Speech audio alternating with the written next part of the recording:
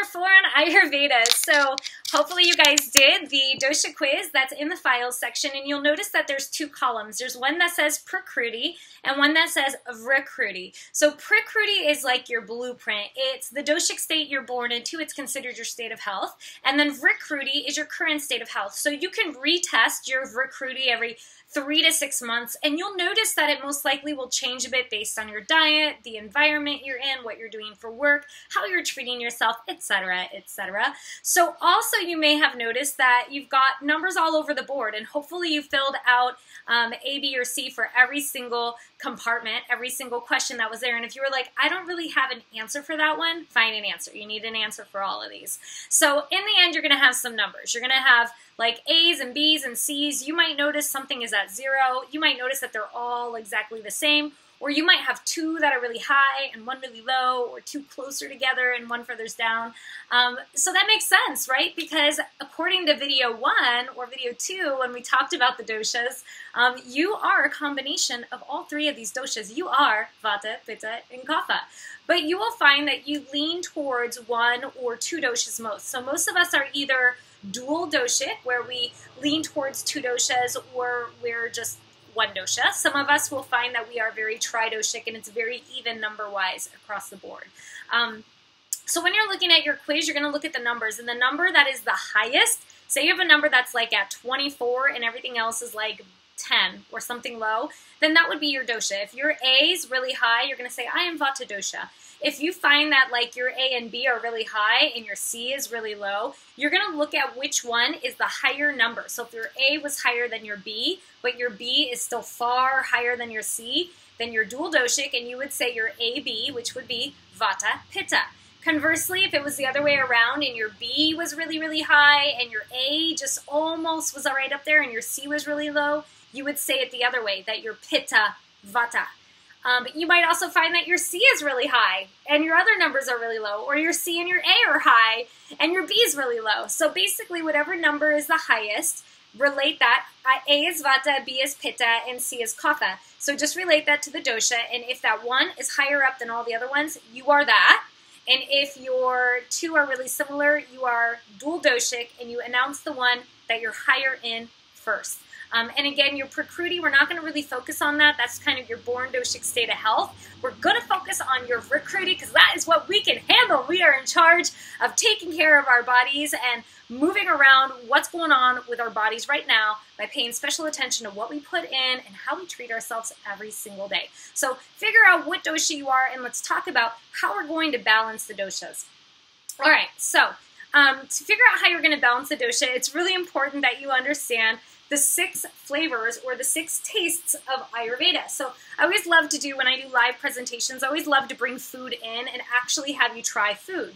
So if you have the opportunity to grab these six foods and try them out, I will highly recommend you do it while you watch this video. So you might even want to press pause, go to the market, get these things, and come on back. But the things you would want would be ginger, fresh ginger, just a tiny, tiny little nugget, a lime, um, I always use like seaweed flakes or anything that's super salty um, you could do as well. I get dandelion greens, kale would also work. Fresh medjool dates, oh, I love dates. And the last one we're gonna do, let's see, which one didn't I mention yet? There's one I'm leaving out, ah, bananas. Get the really, really uber green bananas that are not ripe at all. So those are going to be the three things that I will have you try when you do these samples. Um, and you just need one banana. You don't even need a whole banana. So here we go. If you have the samples, put them out in front of you um, and let's have at it. So number one is going to be sweet.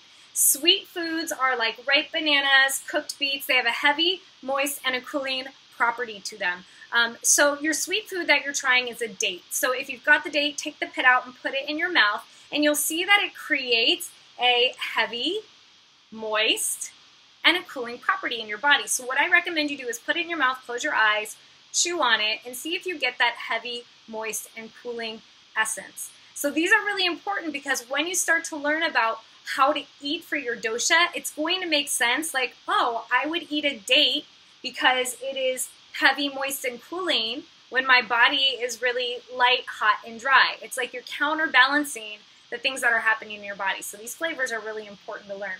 Number two is salty. So if you have something salty, whether it's a little thing of Himalayan sea salt in your hand, some salty nuts, um, I always use those little seaweed flakes. You can try that as well. So um, salty is hot, heavy, and moist. So again, try that salty food and see if it leaves the essence in your mouth of hot, heavy, and moist. So you'll find that salty food actually increases salivation, increases internal moisture, and increases the fire in your body. The third one is sour. Um, examples will be like limes and lemon, lemons. So this is hot, light, and moist. So take your little thing of lime, stick it in your mouth, close your eyes, and see if you get hot, light, and moist from it. And you will see that these sour foods do indeed heat you up, much like salty foods do, heat you up internally, and also create a deep salivation that creates a lot of lubrication and moisture in your body. The fourth one is bitter foods. This is like kale or dandelion greens. And these are light, cooling, and dry. So again, take your little tuft of dandelion greens or your kale, get a good stem in there, put it in your mouth, chew on it a little bit, close your eyes, and see if you get light, cooling, and dry. And you will see that these foods that do have a very dry essence, right? Think about it, a leaf.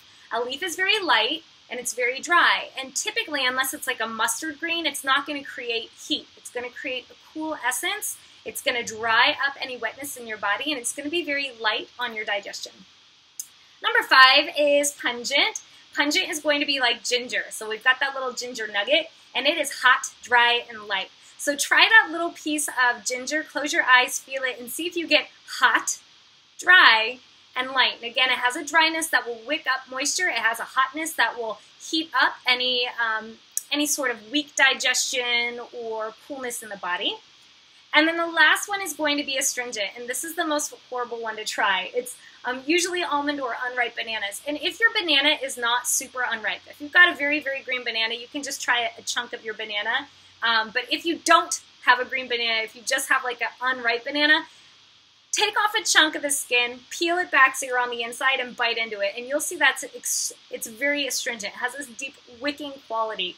Um, and so a dry banana or an unripe banana or astringent quality is going to be dry, cooling, and heavy. So try that out and see if you get that essence of dry, cooling, and, and heavy. Um, and you will find that anything that is astringent is going to wick away moisture internally in your body. So think about that, right? If you're Vata dosha and you already have this air, dry space quality, you do not want dry green bananas.